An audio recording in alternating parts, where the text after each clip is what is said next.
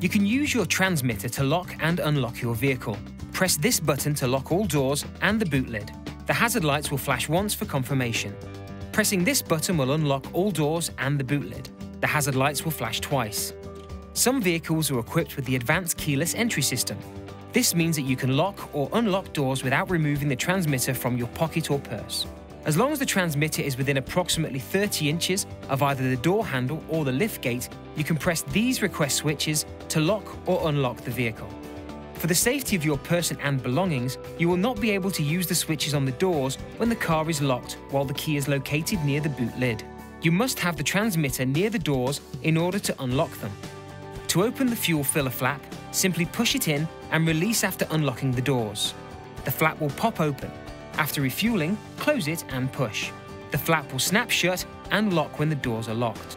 In case the car door locks while a passenger is still in the car, the passenger has to pull this button to unlock the car.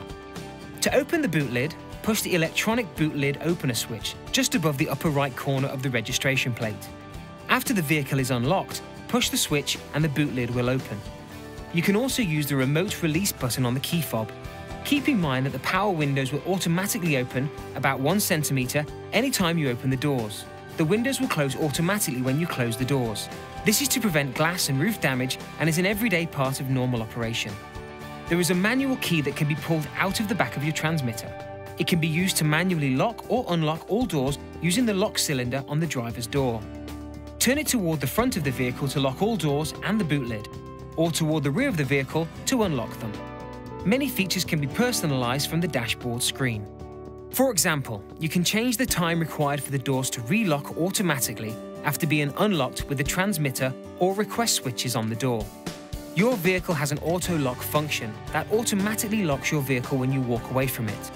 All doors, the fuel filler flap and the boot lid are locked automatically after about 3 seconds when the advanced key is out of the operational range. Also, the hazard warning lights flash once. If the driver is in the operational range, all doors, the fuel filler flap and boot lid are locked automatically after about 30 seconds.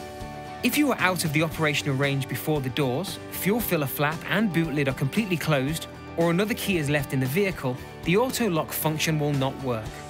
You hear one beep when all doors and the boot lid are closed. The auto lock function of your keyless entry can be turned on or off in the personalization settings. To open the bonnet, pull this release handle with the vehicle parked. The bonnet will pop up slightly. Insert your hand into the bonnet opening, slide the latch lever over and lift up on the bonnet.